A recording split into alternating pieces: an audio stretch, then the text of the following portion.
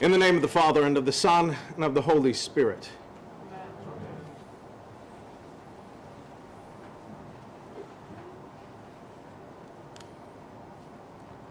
What's in a name?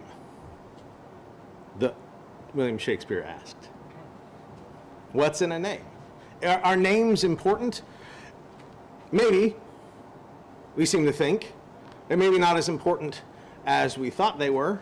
Uh, growing up, my mother's name was Sarah, and she would always have to specify how that was supposed to be spelled. And then when I got into school, my teachers would always ask people, well, which spelling is it? Even my brother, whose name is Connor, would have to specify no, it's the old Irish way, not the new way, not the super new way. It's C O N O R, not C O N N O R or C O N E R or C O N N E R or C O N Y R, I'm sure someone has come up with. We tinker with names. We try to make them unique, special, individual, although, speaking from personal experience, having a fairly unique four syllable name is not all it's cracked up to be because the more syllables you add, the more ability to change pronunciation people find within the name Jedediah.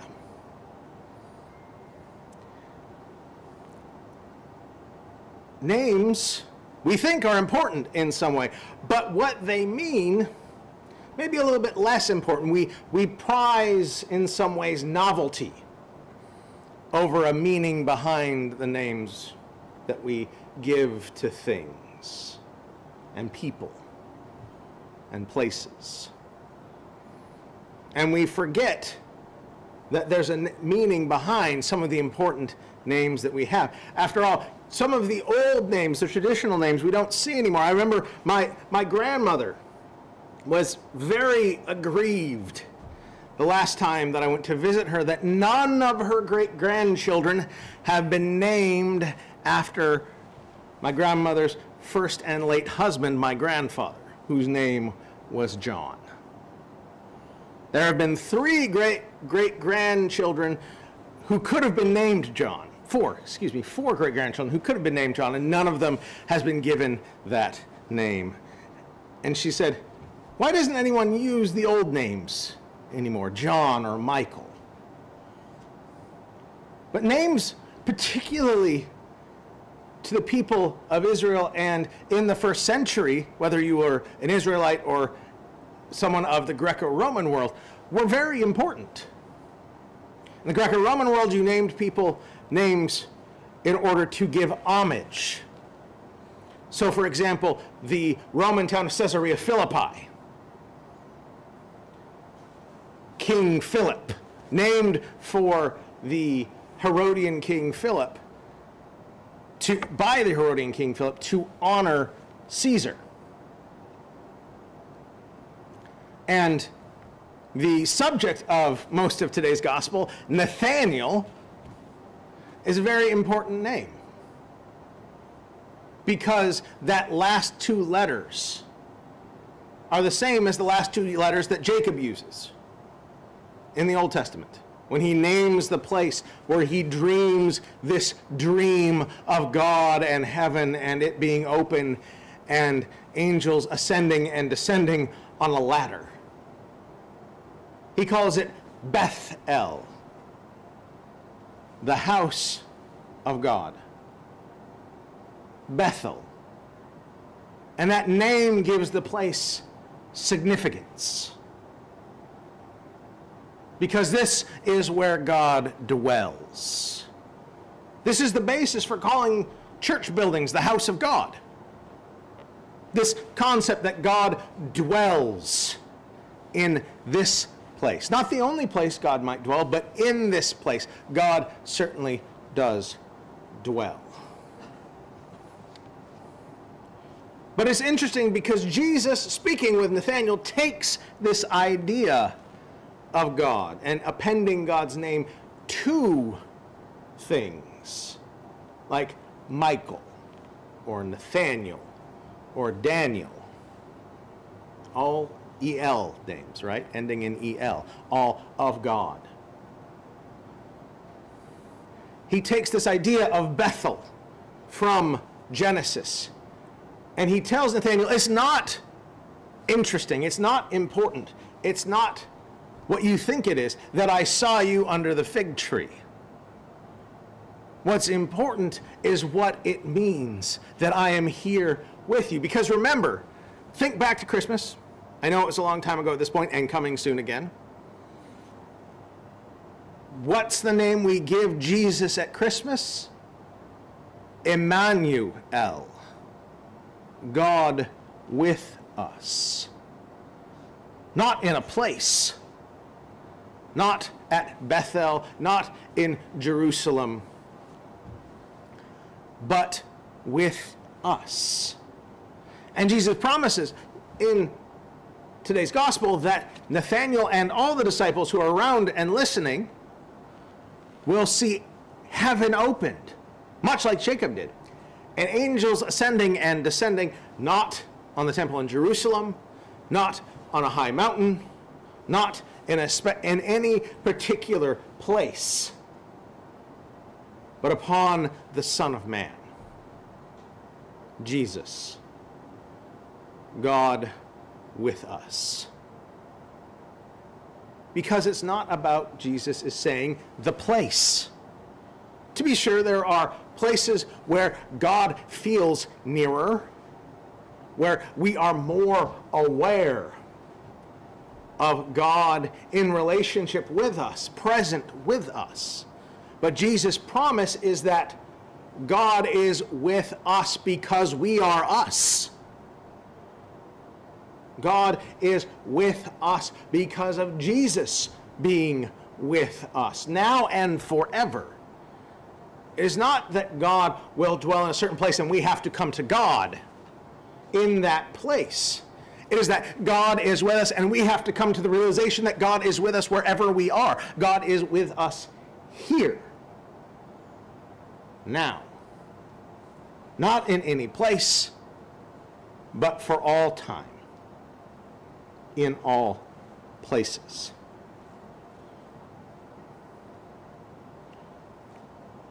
If you remember that childhood classic, The Lion, the Witch, and the Wardrobe, at the end, after all of the adventures, the four siblings are speaking with their host, the professor.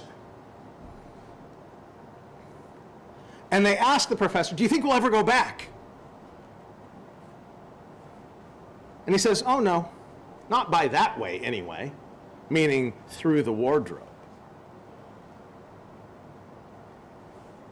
And they're shocked. Well, isn't it always open? He says, No, it's not about the place. It's not about the place. It's not about getting the right door or turning the right combination to access that new that experience that you had. It's about being aware of the moment when it happens wherever you think it might be. And through the rest of those books, the entry into Narnia is on all sorts of places right when the children least expect it. God is with us, and we become aware of it in places where we least expect it to be. And sometimes in places that we would prefer God wasn't with us. Sometimes God shows up on I 5 in the car with us when we're stuck in traffic. And we would like to say certain things to the other drivers around us. But God is with us, and so maybe that's not the best idea. In the Benedictine life, they have a central tenet of their life together that says God is not elsewhere. The other way we, the other way we talk about it is the vow of stability. To be in this place through these things for the long haul. But really, you can summarize it as God is not elsewhere. Everything we need to be with God in relationship, in communion, is here, now, with us. Whether in the Benedictine community, that is in the chapel singing all of the Psalms, all 150 Psalms at 3 in the morning, or in the kitchen doing the dishes, or just sitting and reading in your room. God is not elsewhere. God truly is with us.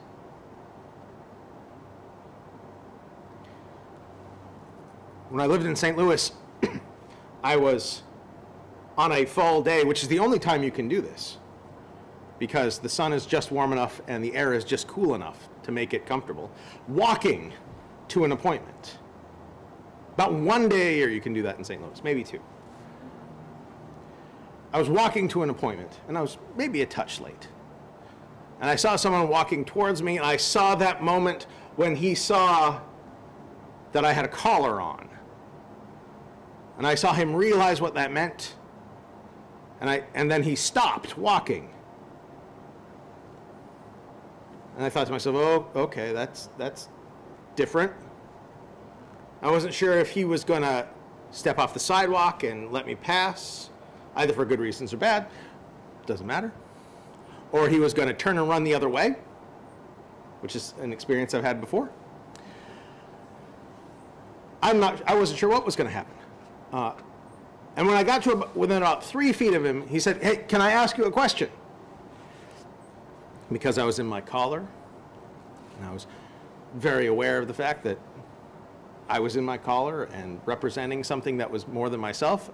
I uh, squelched the, the urge to look at my watch, and I said, Of course. Now, I was already late, so I figured in for a penny, in for a pound. Go ahead and ask your question, I said. And the man looked at me and said, Is God with me? I was a little confused. I said, Well, what do you mean? He says, Well, I, I want to know if, if God is with me. Is God with us right here, right now? I, I can't get to church on Sunday, he said. I, I work 12 hours a day on Sunday, and I can't get to church. Either I can't get to your church, I can't get to my church, I can't get to any church on a Sunday and, and things have happened in my life that I just feel like God has abandoned me. And so I, I need to know has God abandoned me? Is God angry at me because I haven't been to church on Sunday? Is God with us? And I said, I'm, I'm, I'm sorry to hear that things are challenging in your life. But yes, absolutely, without question, God is with you. God is with us here, right now, and then they ask, Can I pray with you? And generally, when people ask, Can I pray with you? in the Episcopal Church, what they mean is, Can we stand together and you pray? Because you're the priest. And I was fully expecting that that was the expectation. And so I, I said, Of course. And then I took a breath to begin praying. And then he started praying before I could even uh, make it, uh, finish taking a breath in. He said, God, I, I just want to I just want to thank you. There have been such, so many hard things in my life. Um, but I know that you put this person in my life to walk across my path and tell me that you have not abandoned me. And so I just wanted to say thank you, God. Amen. He said, Thank you, Father. Thank you. That was, thank you so much. And then he turned and walked away before I could get in that breath that I had taken in in preparation to pray out. God is not elsewhere. There may be places where God feels nearer to us, feels closer. It might feel like there's a ladder between that place and heaven with angels coming down and up to bring us the good news that God loves us and wants to be in relationship with us. But even when we are not in those places, even when we are not in Bethel, the house of God, God is with us. And so are God's messengers, the angels, and everything that constitutes God's reality and relationship with us. God is absolutely with us here and now and always if only we can remember that that is true. Amen.